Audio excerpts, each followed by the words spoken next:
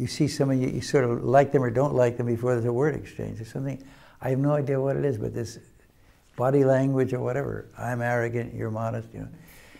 Uh, so that's a major part, just instinct.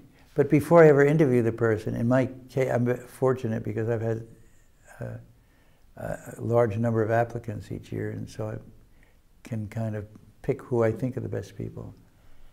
And even so, one makes mistakes not infrequently.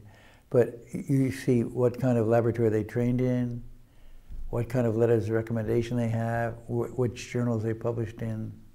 And sometimes one will take a student who didn't publish anything yet, if the letters are explain why they didn't and why this young person is very promising and so on.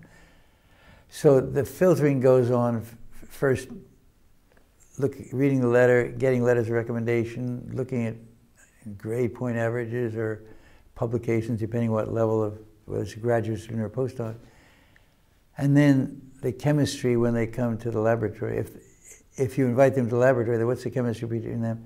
I also am very fortunate having some extremely talented young people with me, and I let them pass the calipers over these potential applicants too. Mm -hmm. We usually agree pretty much on who we should offer a position, who we should not.